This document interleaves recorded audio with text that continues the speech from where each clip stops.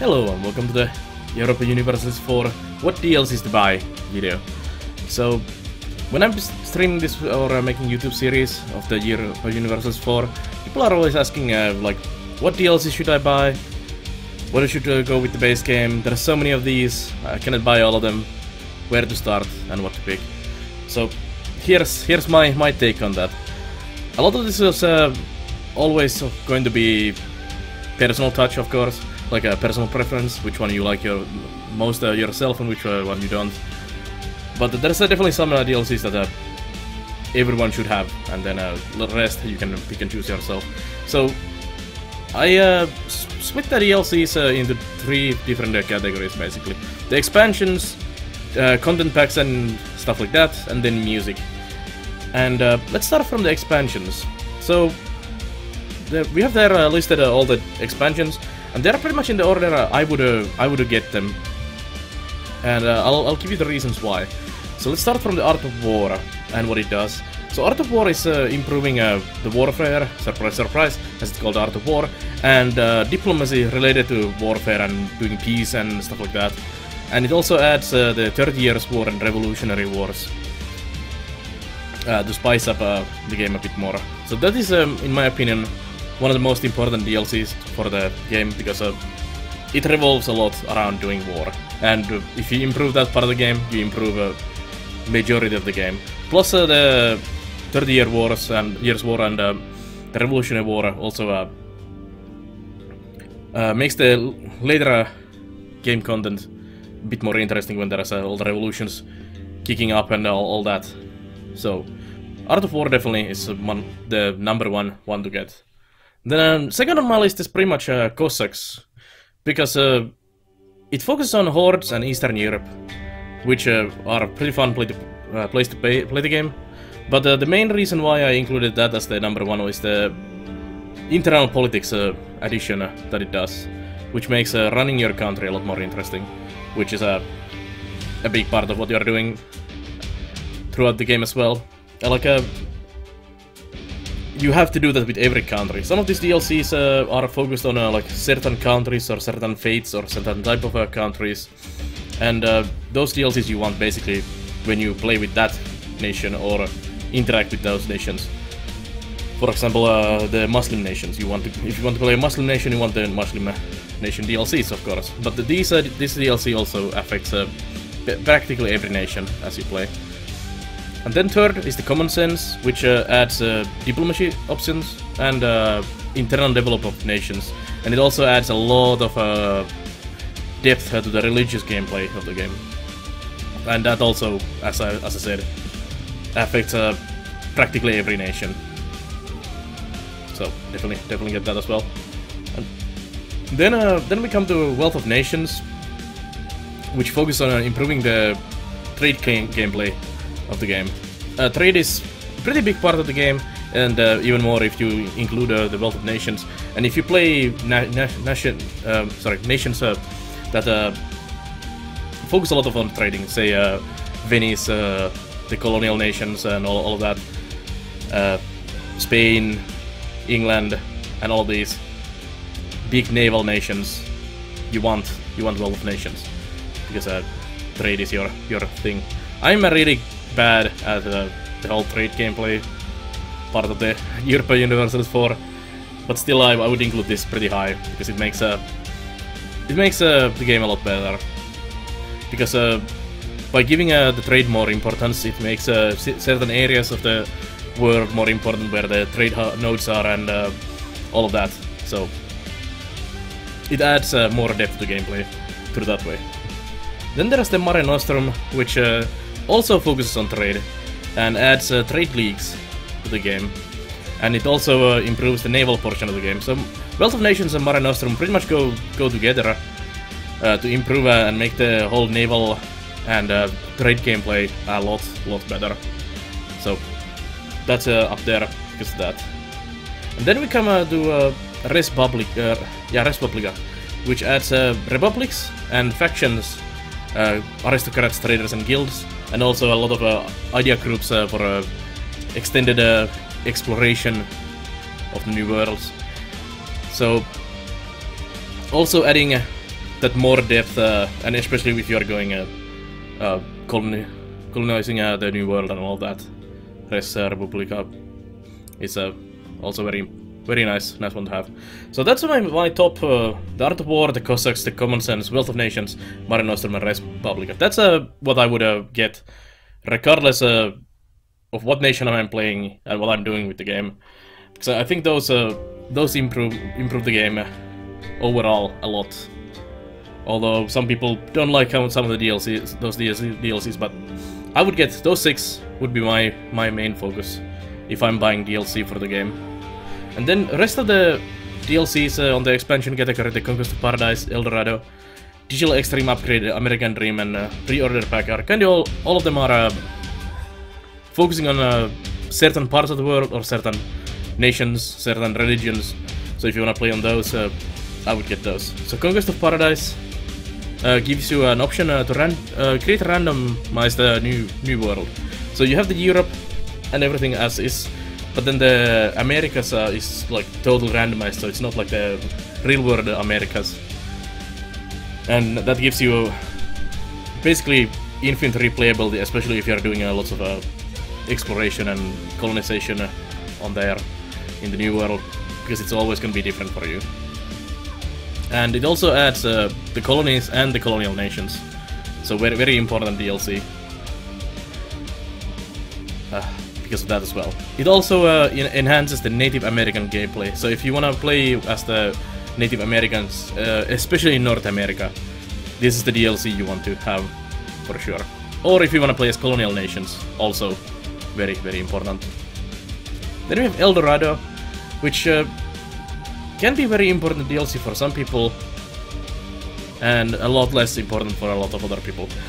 So one of the big things that uh, the El Dorado adds is uh, uh, nation uh, designer for custom nations. So if you want to create your own nation or nations, uh, this is what you want. If you want to populate the uh, world with uh, strange new nations, you want El Dorado.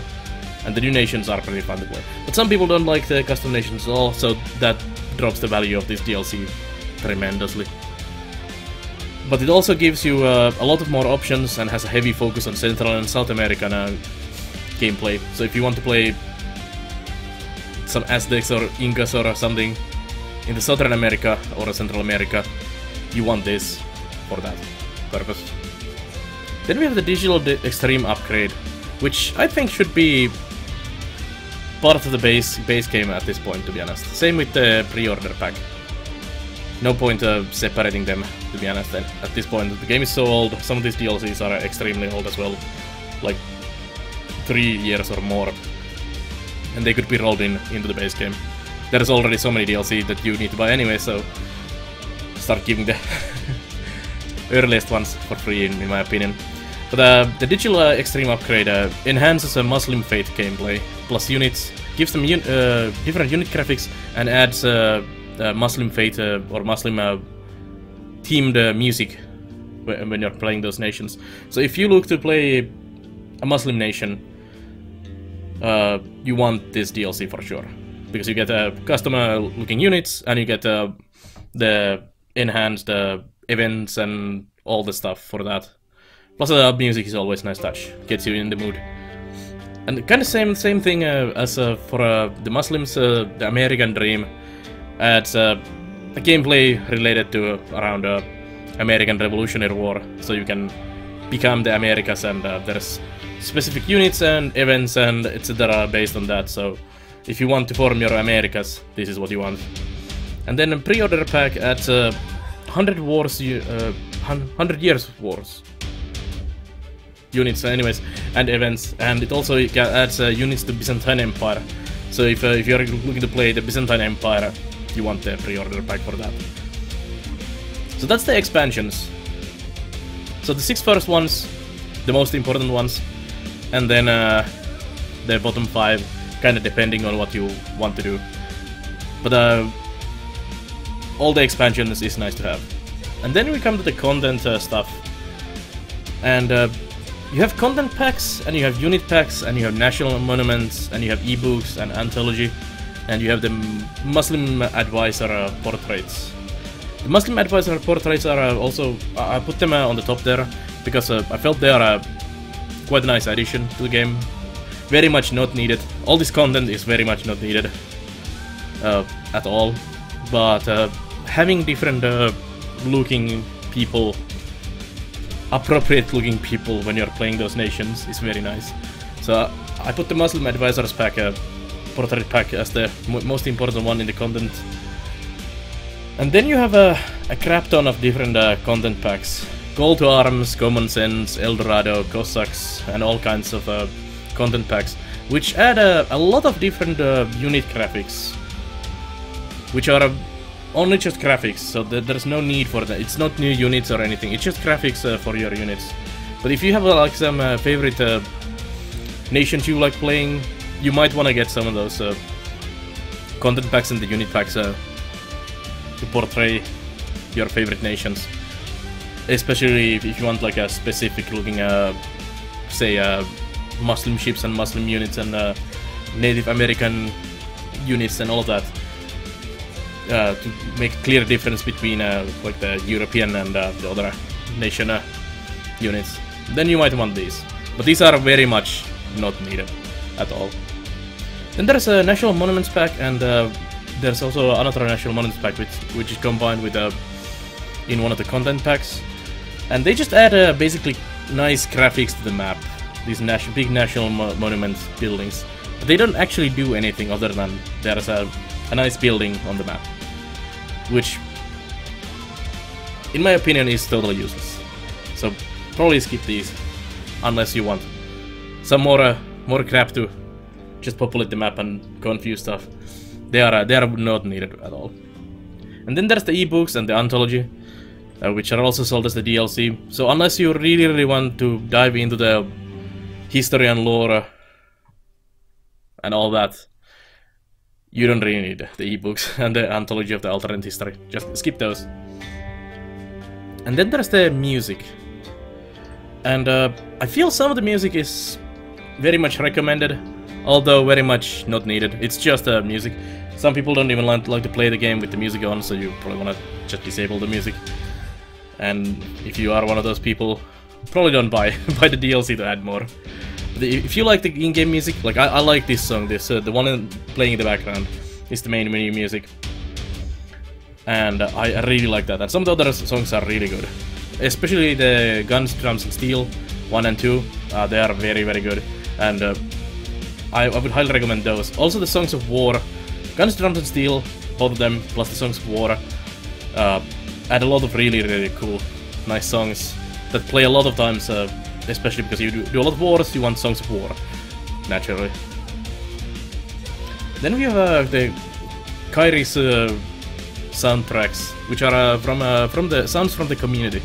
So there's a community member uh, who made some amazing music for the game, and there's a soundtrack part one and two, and they are very much like a Asian themed, Japan, China, Korea, and if you are playing in that region, and like that kind of music, I, I highly recommend these because they, they definitely bring the nice uh, theme and uh, feel when you're playing as uh, one of the Asian nations, and uh, the music is not this uh, Central European uh, type of music. It's more more appropriate to the Eastern Eastern cultures. So I, I highly recommend that if you're playing in the Asian region, get those uh, Kairi's soundtracks. They're really nice uh, ju just to listen anyways. And then there's the songs of the New World. So if you're playing in the in the New World, uh, one of the Native Americans or uh, anything in, in there, the songs of the New World are same uh, same same uh, same for them as the Kairi's for the Asian region. And then there's uh, the last three uh, music packs, uh, which I highly recommend against. Maybe not uh, the Republican music is okay-ish, but I, I would skip on that. It's not very good. And then uh, Sabaton soundtrack. Sabaton is really amazing, but I don't think the songs really fit uh, the other songs in the game, and it kind of feels uh, jarring to have them uh, in there. Just listen to your Sabaton uh, albums uh, when not playing this game, and don't really get the soundtrack for that. And then there's the Fredman's epistles, which are big, big no, no, no, no, no. it's this uh, guy singing in Swedish that sounds just horrible. so I highly recommend against against the Fredman's epistles. Epistles. But yeah, that's pretty much uh, that's pretty much the guide to buying DLCs for uh, the European 4. So the first six expansions very important, and then uh, the rest of the expansions uh, that you might wanna buy if you are focusing on playing in that region, and then uh, content and music is pretty much if you feel like getting any of them. Uh, there's a new DLC coming in October 2006, in a couple months from recording this video, and uh, it seems to add a lot of uh, really, really good gameplay. It's not on the list at the moment, uh, The Rights of Man, but uh, it's highly recommended. I would put it uh, in the very, very top of the expansion somewhere there, with the Art of War and Cossacks and Common Sense, The Rights of Man, when that comes out. So definitely, definitely get that as well if you are watching this video later on. But anyways, that's it uh, for me this time. So hopefully this helps you, helps you guys pick out some DLC for the game for yourself. And uh, I'll see you guys next time. So bye bye.